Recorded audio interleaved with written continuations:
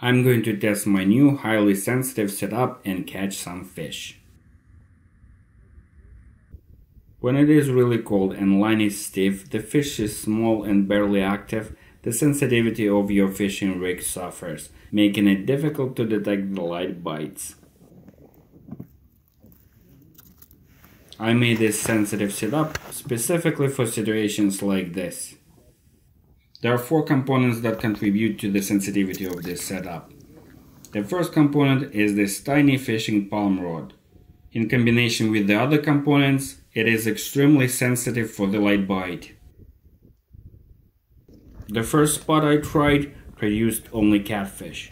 Soon it was clear that it's unlikely that this hole will offer anything else and I had to move to find other species. I wanted to find some panfish to test the sensitivity of my rig. This is another thing I like about palm rods, their portability. I can carry them in my tackle box.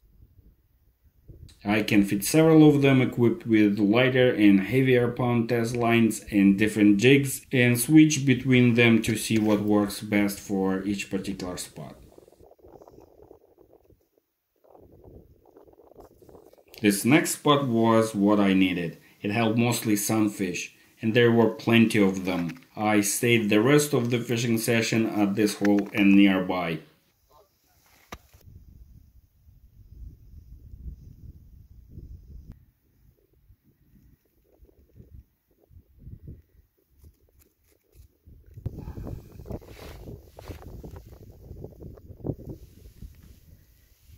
The next component of the setup is this tungsten jig. Tungsten is a metal that is significantly denser than lead. This means that a tungsten jig is going to weigh more than a lead jig of the same size.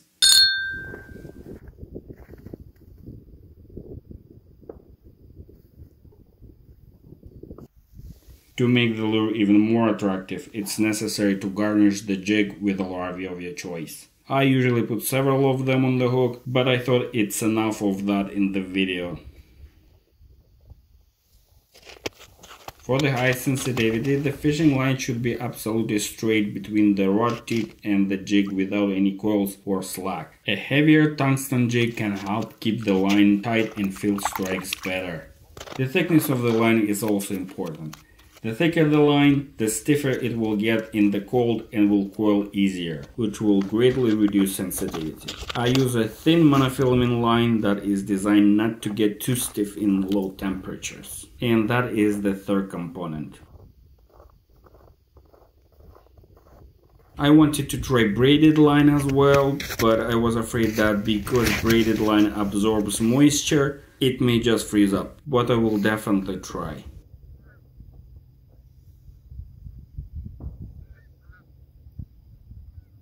The rod is light, almost weightless. It fits in the hand and feels like a part of it. It is easy to jig all day and gives better control over the lure's presentation.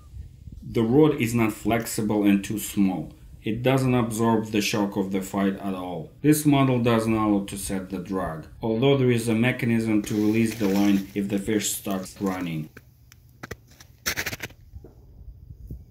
The rod is designed neither to fight fish nor reel it in. It is done by retrieving the line by hands. When the fish pulls or shakes its head, all the stress falls on the line, so it's important to maintain tension with your hands.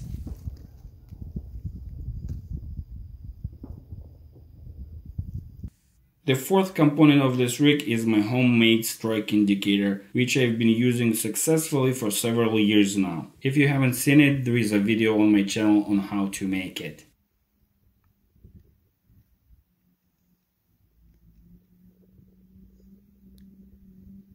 Colder temperatures slow down fish metabolism and they are significantly less aggressive. They have more subtle bites that are harder to detect.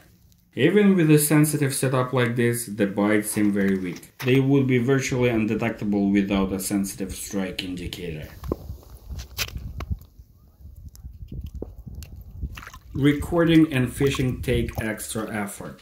And after a few lost fish and various technical difficulties, I've decided to focus on fishing. The bite was on and I caught plenty of sunfish, a few decent sized crappie and white bass. This was an unexpectedly good session that resulted in this video. Hope you liked it.